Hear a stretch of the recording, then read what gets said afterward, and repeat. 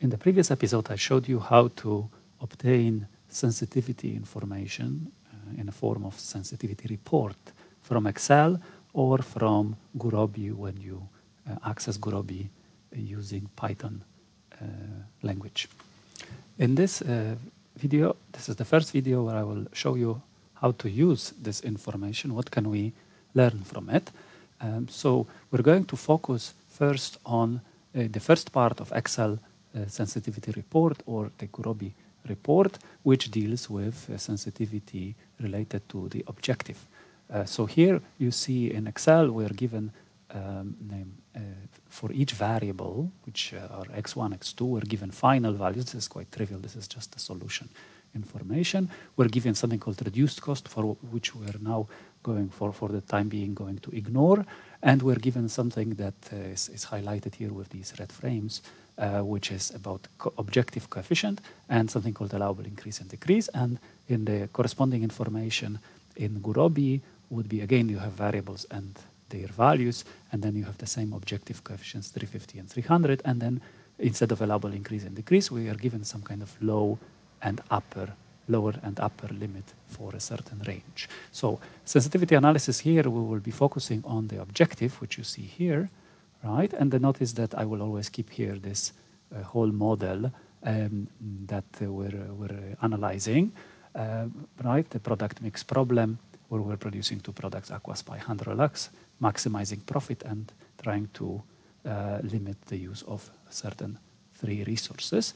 Uh, and again, just for, for, for ease of access, I will keep here the optimal solution that was originally obtained, which is 122 um, Aquaspas and 78 Hydroluxes should be produced, let's say per week, in order to maximize profit. And the profit that is achieved by this solution when you plug in, right, the stars will be used to indicate optimal values of variables. So when you plug in in this objective, when you plug in this optimal solution, you obtain a total profit of 66,100 per week. And uh, so that means that um, this, th since this is opt an optimal solution, this is the maximum value achievable. So first of all, uh, let's understand uh, first that this information that you see in Excel or in Gurobi is actually the same information, just in a slightly different format. It basically shows us something called range of optimality for, for each objective coefficient, right? For each objective, so for every variable, x1, x2, we have an objective coefficient 350 and 300 that you see here, right? Uh, and also here, and, and the same thing here. Um, so this, uh, for each objective coefficient, we are given a range of optimality. A range of optimality is just a range of values, right? So for this 350, we're given a range of values which includes 350. It's around 300 to 450, right? And it's also defined here, but slightly differently. Here it is defined as 350 plus, right? The upper limit is plus the allowable increase. So maximum you can increase it by 100, right? So it actually is 450, the upper limit that you see here directly is can be obtained as 350 plus 100. And 350 minus allowable decrease is the lower limit, right? So you see 350 minus 50 is 300, and you see here this as a lower limit. By the way, SA stands for sensitivity analysis in Gurobi. All sensitivity analysis information is given with attributes starting with SA. So this is SA for the objective coefficient, lower limit for the range of optimality, and upper limit for the range of optimality. So I hope you see, right, that range of optimality from Excel, you can calculate it using this, this formula. Uh, so you can calculate it as objective coefficient minus allowable decrease, objective coefficient plus allowable increase. And in, in uh, Gurobi, the range is given directly using the lower and upper limit, as you see here. So it's for first coefficient is this, for the second coefficient, you can see that again adding 50 or subtracting 66.67 will give us this, of course, different uh, uh, level of rounding, right? So what is the usefulness of this range of optimality? Well, it helps us answer certain questions. Generally, sensitivity analysis is uh, trying to answer questions, what if uh, the numbers that we assumed here in the model, in this whole model, what if those numbers, right, 350, 300, 1, 1, 9, and so on, 6, 12, these right-hand sides. What if they are wrong? What if they are off by something, right? Maybe it's not 350, it's 360 or 320. right? Profit maybe is not really uh, going to be realized. Uh, the realized profit will not be 350 per unit. Maybe it will be smaller. Maybe it will be larger. Maybe we will not have exactly 200 pumps. Maybe we'll have more or less pumps per week or labor hours. Maybe someone will be absent. So generally, we're trying to answer questions about what if these numbers are are, are wrong, uh, a little wrong, or a lot wrong, right? So um, the obviously the easiest thing to do is always to say, well, if it's not 350 but 340, let me just put 340 here, put it this, update this model in Excel or Gurobi, and just solve it and see what the new solution is, right? Or change other numbers and again resolve. But that's a lot of work, and that doesn't give us a lot of information, right? We could generate a, a, large number of variants of this model with slightly different parameters, and we wouldn't learn much. Sensitivity analysis gives us a lot of information in a very concise way, and this range of optimality is such a way. So, what does it? What does range of optimality mean? Well, here is the the sentence that defines uh, in a very concise way the meaning. So, if one objective coefficient changes, let's say the first coefficient, 350, changes within the range of optimality, so within this 300 or uh, up to 450. And all other coefficients in the model remain the same. Right? So we're changing one at a time, then the old optimal solution will still be optimal. So what does it tell us? It tells us something like if I change this 350 to 360, but 360 is still below, right? 450, right? It's an increase by 10, and you can see the allowable increase is by 100, so it's still below allowable or no more than allowable increase. Then I know if I were to resolve this model, I would still get the same optimal solution, 122 and 78. Or if I were to change the second coefficient, let's say if I were to take this 300 and I were to decrease it, let's say to 250, maybe the product is not achieving as high a profit as we expected. Maybe we had to lower the price, give some discounts. Maybe the cost of resources were actually higher and we had to increase the salaries of our workers. And actually, the profit is not 300, it's 250. Well, it is still within the range. And so, if we change just this number, not, not any other numbers, just this number to 250, right, in the model here, 250, and solve this model again in Excel or Gurobi, we're going to get uh, the same optimal solution, right? So that's sensitivity, and obviously, uh, clearly, if this range is very narrow, right? If this was, for example, from 295 to 305, this would be very, this model would be very sensitive to the change of this coefficient. If this range is very wide, let's say if it was just from 100 to, to 1000, then we would say the model is not very highly insensitive to this to this parameter, right? So we have this information. We will also later on consider um, something called 100% rule. When we change multiple objective coefficients, we can also sometimes say uh, whether the optimal solution will remain the same or not. And the important thing is we will also uh, be able to, to find out the new optimal objective function value, right? So if I, let's say, increase this to 360, right? And I know it is still within the range of optimality. I know this solution will stay the same. But uh, what I'm interested also in is how much will be the profit. And given that I increase this, obviously the profit must be changing, even if the solution is the same. So we will, you will see in, in the ex examples that follow that um, we can actually calculate the new optimal objective function value, in this case, the new total profit, whenever we know that the solution the optimal solution, the old optimal solution remains still optimal.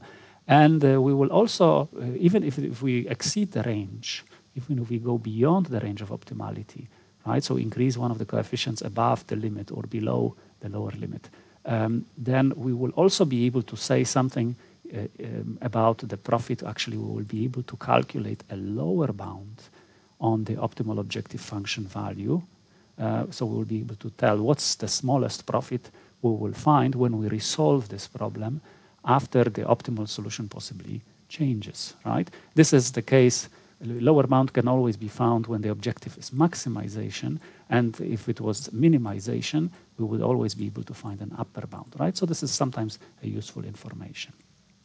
Okay, so what kind of questions uh, can we ask? Here is a question.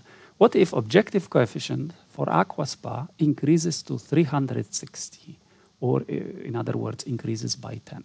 So what we're talking here about is actually the profit contribution for aqua spa, which is here in the model. It's 350, right? Every increase in the production level of aqua spas contributes $350 to the profit. So the question here is just saying, what if this was 360, right? Or the increase here is by 10. So first thing to, to, that we have to recognize is that um, 360 is within the range of optimality.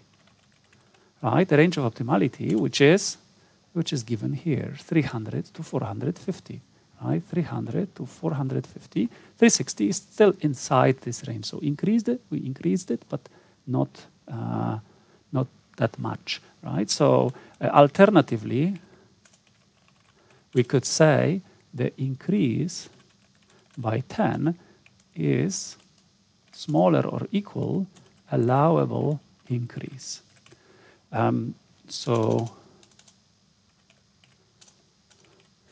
right, so we're saying that allowable increase, which is here in the Excel report for the first variable allowable increase is 100, right? Even if it was at the limit, even if I increase this 360 up to 450, or the increase would be by 100, which is exactly equal to 100, we would still be within the range of optimality, right? So if we know this, we can say, right, so the old optimal solution will still be optimal, right? This is what we know the, the meaning of the range of optimality uh, guarantees that, right? Now, given that the old optimal solution, right, which is this, this value, which is still optimal, we can calculate the new optimal objective function value, right? So the new optimal objective function value will be calculated as before, but with one difference. There is a new coefficient. The 350 has just changed to 360, right? So this coefficient is no longer 350, it's 360. But the solution is still 122.78, right? So now I have to plug these numbers, right? Plug um, the 122.78 here in the new function, and I will get profit, which is now 67,320, right? And alternatively, uh, alternatively uh, what we could say is, right, what has changed here? This was 350, now it's 360. So the increase is by 10 times whatever value of x1. So I could say uh, that, uh, that optimal objective function value Uh, increased, right?